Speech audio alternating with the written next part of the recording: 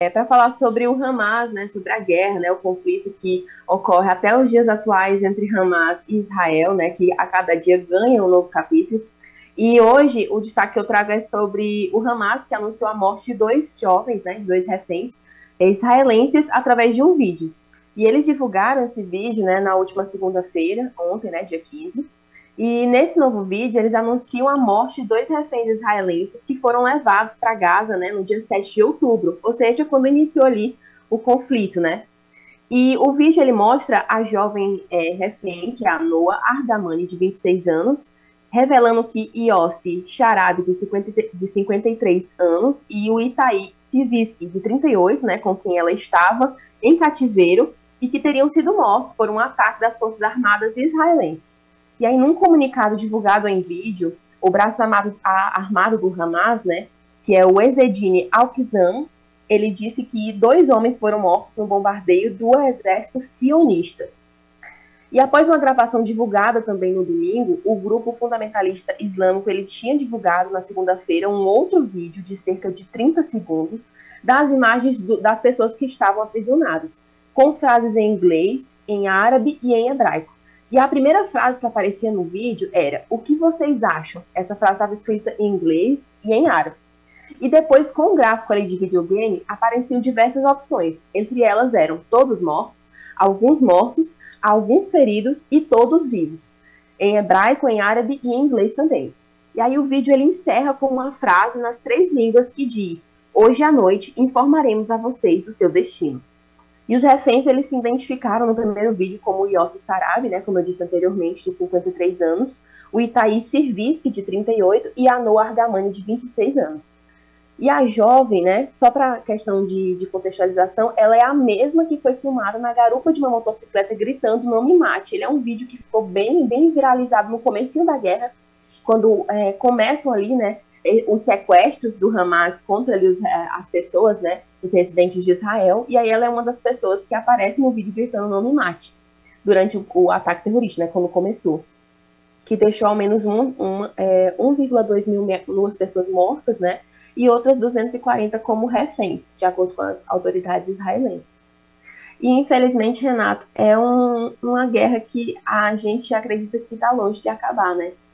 E a cada dia as atrocidades elas perduram mais. E quando a gente vê um vídeo desse, onde eles praticamente brincam, né, com a vida da pessoa sem nenhuma importância, exibindo opções, né, é, se as pessoas vão permanecer mortas, ou, ou, melhor, se elas vão permanecer em cativeiro, ou se elas vão morrer, né, qual vai ser o destino delas, aterrorizando as famílias, né, divulgando isso nas redes sociais, é, pressionando o Estado israelense, a gente vê que são pessoas que não têm nenhum tipo de, de apreço pela vida humana, né, que estão dispostas a tudo para vencer uma guerra, né. É, nós temos é, hoje uma grande verdade, né, um, um, um início e um prenúncio né, de uma terceira guerra mundial. E por que, que eu coloco isso? Né? É, a, a, gente está em tantos frontes de batalha que a gente acaba falando só de um especificamente. Mas hoje nós temos os Estados Unidos junto né, com a Inglaterra, com o Reino Unido, né, atacando né, o Iêmen, né, os rebeldes do Iêmen. Nós temos essa situação né, do Israel, de Israel e Hamas. Nós temos um, uma, uma situação tensa de Israel e do Irã, Israel e Líbano. Nós temos a guerra da Rússia e da Ucrânia, que está tendenciando a chegar ao seu pior momento nesse ano de 2024. Né? Veja que hoje a Ucrânia já faz ataques, inclusive ao país russo, né? que não fazia em 2023. Né? Nós temos situações aqui no Brasil, onde um país como a Venezuela, que até então né, o seu chefe de Estado era recebido muito bem né, no território brasileiro, mas que por tentar conquistar né, é, uma outra área da Guiana, é, ameaça invadir o território brasileiro. Então é uma situação muito complicada o que o mundo está vivendo hoje. Nós temos uma situação também de tensão né, em via do, da eleição em Taiwan. Né, a China deixando claro que não aceita aquela situação. Nós estamos em uma situação muito complicada, essa é a grande verdade. E o, o mundo hoje está sobre uma forte tensão, Larissa. É verdade. Como você falou, né? Acredito que a gente está vivendo um período muito complicado, né? Muito delicado também em diversas partes do mundo, né? E é torcer para que isso não se expanda e não chegue a outros lugares, como por exemplo aqui no Brasil, né? A tendência, Larissa, é que isso aumente. Por quê? Porque você vê o que aconteceu nos Estados Unidos. Você já ouviu aquela frase? Alguém já deve ter falado isso para você, né? Já me falaram muito isso, Renato. Você não pode demonstrar fraqueza para as pessoas. Já ouviu isso? Sim. Já ouviu, né? E, e, isso também é utilizado na guerra.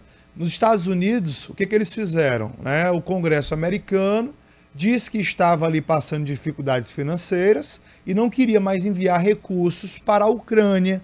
E aí surgiu a guerra em Israel. Toda a mobilização de recursos foi para Israel, porque Israel tem um acordo com os Estados Unidos da América. Né? Os Estados Unidos precisam honrar com esse acordo.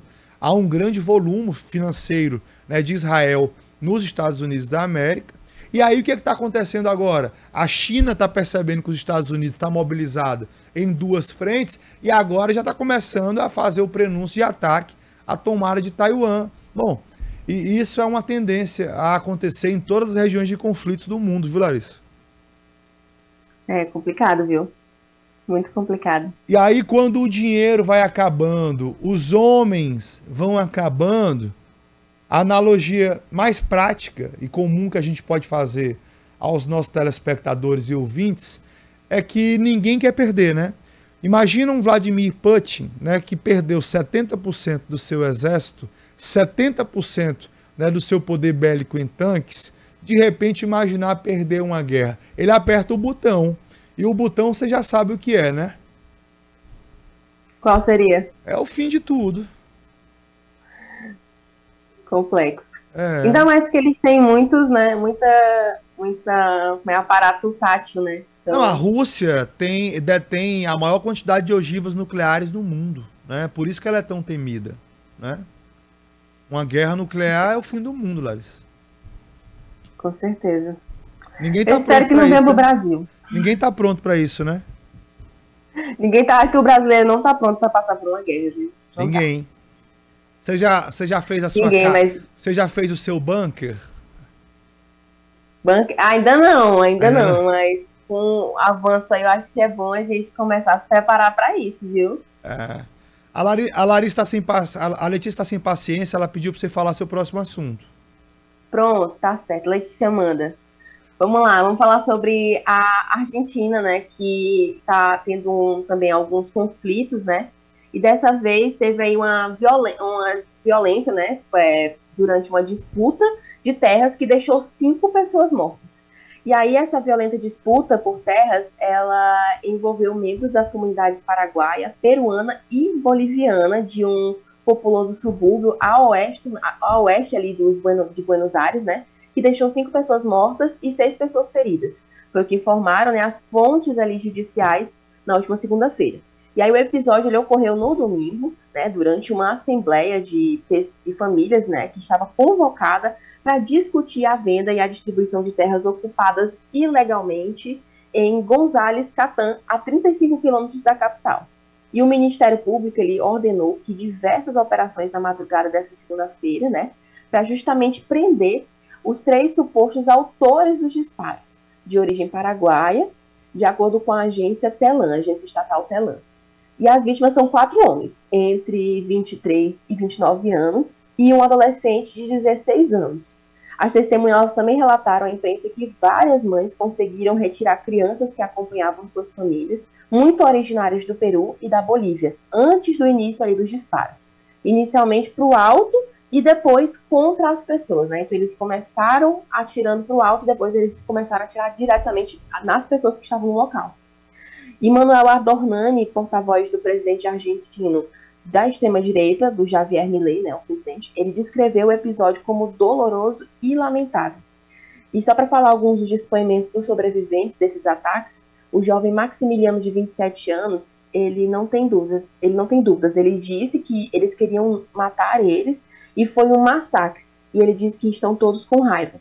Foi o que ele contou a uma, a uma das imprensas locais. E ele afirma que os supostos delegados da área eles ameaçaram as pessoas que se instalaram no local e pedem um pagamento de 100 mil pesos por um lote de, de 10 por 30 metros. E eles vieram ali, um, de acordo com ele, eles vieram umas duas ou três vezes pressionar eles para saírem dessas terras ou para fazer o pagamento para permanecer nelas. E sendo que eles já estão ali há um ano, né, de acordo com ele, de acordo com o depoimento dele. E ele diz que eles não sabem como é que eles obteram essas terras, mas que eles estão enganando muita gente. E ele diz que também não tem para onde ir, então a situação está bem complicada por lá. E Larissa, você tem um último tópico, né? Sim, para falar